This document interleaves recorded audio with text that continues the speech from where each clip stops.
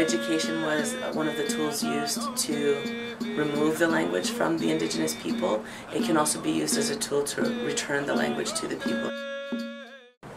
Kanonhsowánen ni ungats, uh, gontege, ni uh, wagata wagata huni ni wagitarodo. Sego, Tayohserón:tye ungats, waganyato, tana gontege ni di wagano, ganyak ke haga ni.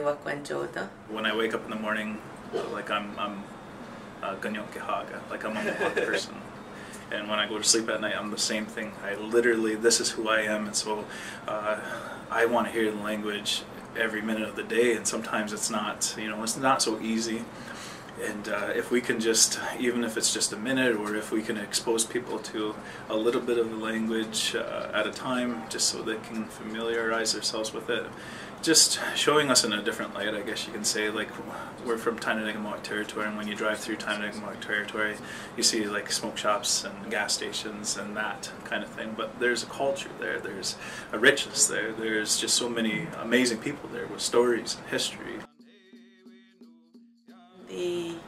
Mohawk minutes, some of it is uh, done so that there's a, Mo a Mohawk word, uh, English word, so that it doesn't become overwhelming. Mohawk is a polysynthetic language, so the words are very big. And if you just rambled off a whole bunch of Mohawk, and it, it can be overwhelming for somebody who doesn't know the language. Sego Sewak Guego. This is Kanonhsowánen. And Tayohserón:tye. And this is the Mohawk Minute on 91X. Ganjokwa. All of you. Se wada hosio Scott Nigari Wessa. Listen for a short time. This is Kanonhsowánen with A Smoke Dance. I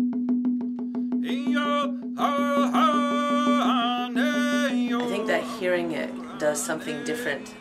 You know, people hold memory in their in their bodies and their cells, and so when when uh, indigenous people hear the language, it triggers something for them, right? Like, and their body can remember intergenerationally, and I think that's an important piece.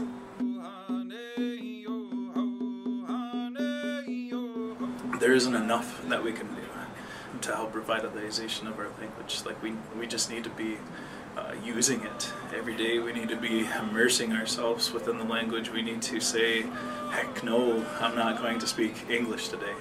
All I'm going to speak is Mohawk and I don't care and nobody can understand me. I just want to speak my language.